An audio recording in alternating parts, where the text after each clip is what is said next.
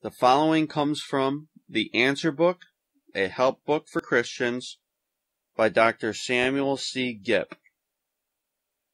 This is question number nine, titled, What is the LXX? Question mark. Answer, a figment of someone's imagination. Explanation. First, let's define what the LXX is supposed to be.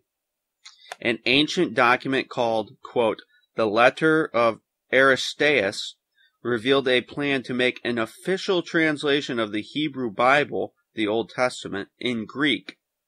This translation was to be accepted as the official Bible of the Jews and was to replace the Hebrew Bible.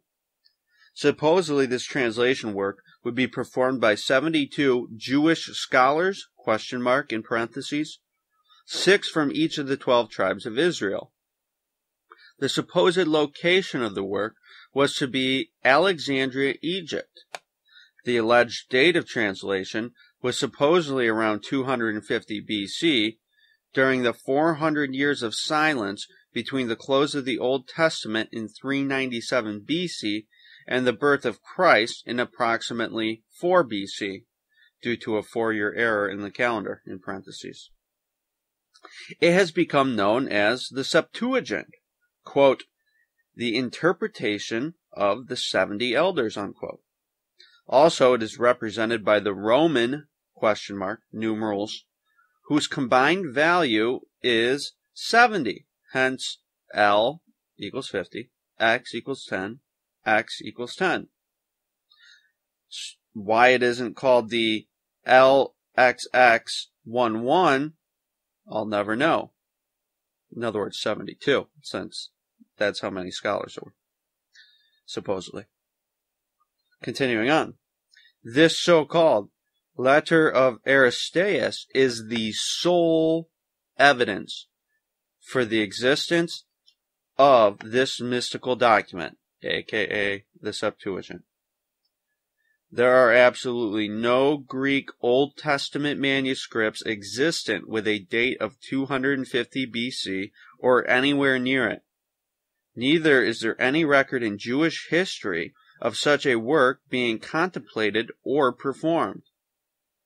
When pressed to produce hard evidence of the existence of such a document, scholars quickly point to Origen's Hexapla, written around 200 AD, or approximately 450 years later than the LXX was supposedly penned, and more than a hundred years after the New Testament was completed.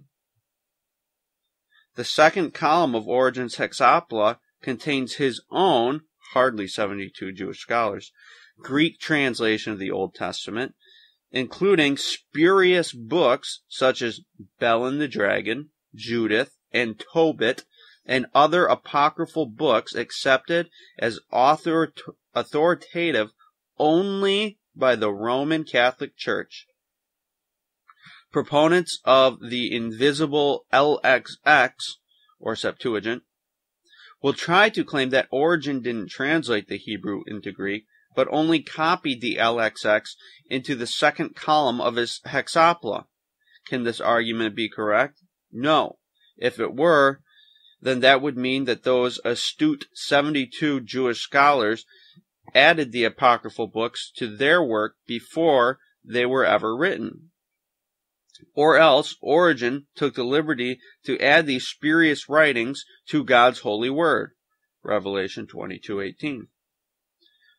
Thus we see that the second column of the Hexapla is Origen's personal, unveilable translation of the Old Testament into Greek and nothing more. Eusebius and Philo, both of questionable character, make mention of a Greek Pentateuch. Hardly the entire Old Testament and, and not mentioned as any kind of officially accepted translation. Is there any Greek manuscripts of the Old Testament written before the time of Christ? Yes. There is one minute scrap dated at 150 BC, the Rylands Papyrus number 458. It contains Deuteronomy chapters 23 to 28. No more. no less. In fact, it may be the existence of this fragment that led Eusebius and Philo to assume the entire Pentateuch had been translated by some scribe in an effort to interest Gentiles in the history of the Jews. It is most it most certainly cannot be a portion of any pretended official Old Testament translation into Greek.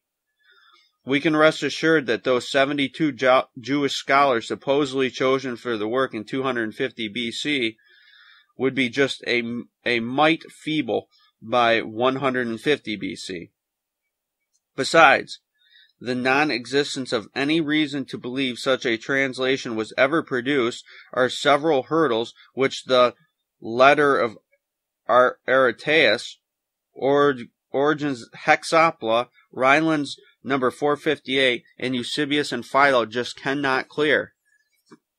The first one is the letter of Aristeas itself. There is little doubt amongst scholars today that it was not written by anyone named Aristeas. In fact, some believe its true author is Philo. This would give it an AD date.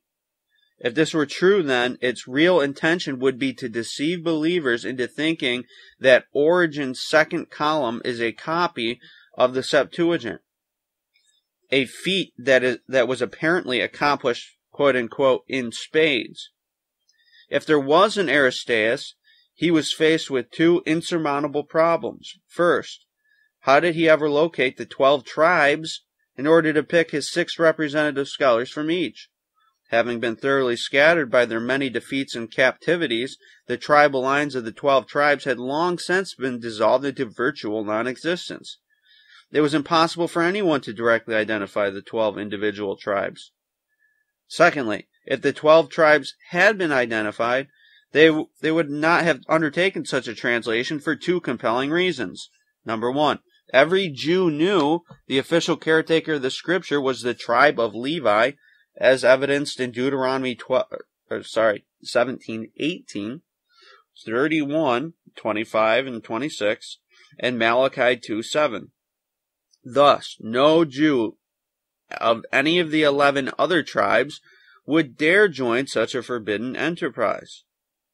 Number two, it is obvious to any reader of the Bible that the Jews were to be distinctly different from the Gentile nations around them. Unto them was given such distinct practices as circumcision, Sabbath worship, sundry laws of cleansing, and their own homeland. Added to this is the heritage of the Hebrew language. Even today, practicing Jews in China and India refuse to teach their children any language but Hebrew. The Falasha Jews of Ethiopia were distinct among the many tribes of their country by the fact that they jealously retained the Hebrew language as an evidence of their Jewish heritage.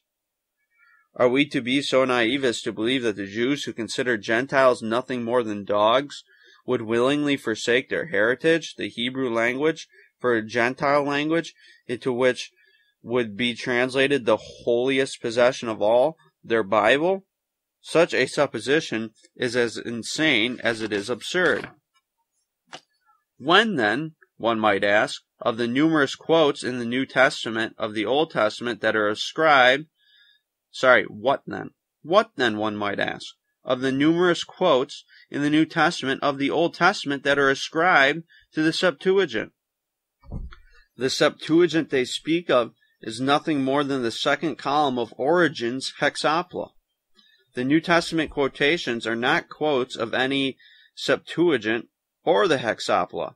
They are the author, the Holy Spirit, taking the liberty of quoting his work in the Old Testament and interpreting it in whatever manner he wishes.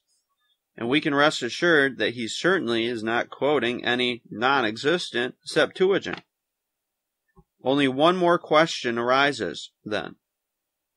Why are scholars so quick to accept the existence of the Septuagint in the face of such irrefutable arguments against it? The answer is sad and simple. Hebrew is an extremely difficult language to learn.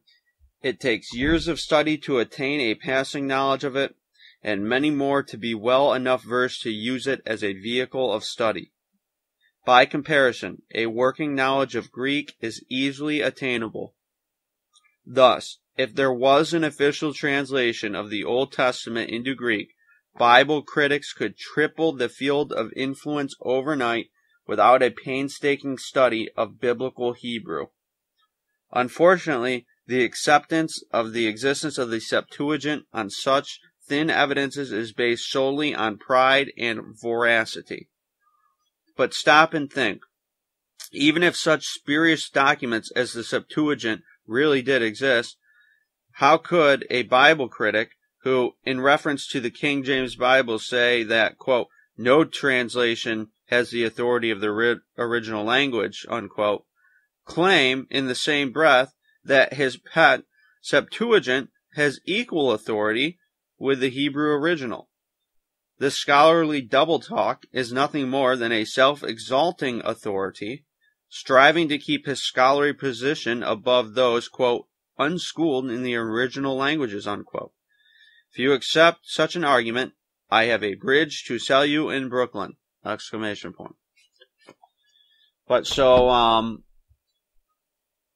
what I would add here is, as the author mentioned, it is the Roman Church that says that these spurious books that came from the Septuagint, uh, such as Tobit, the Roman Church alone says must be accepted as inspired. Even Jews don't view those books that way, at least not Orthodox Jews.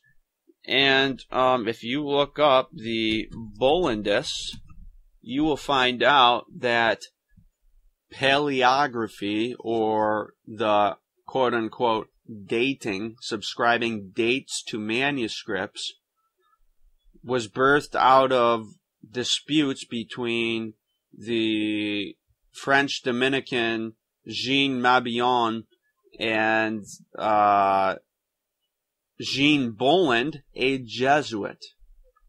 So, in other words, the art of dating manuscripts, i.e., forging the date of manuscripts, comes from the Jesuits.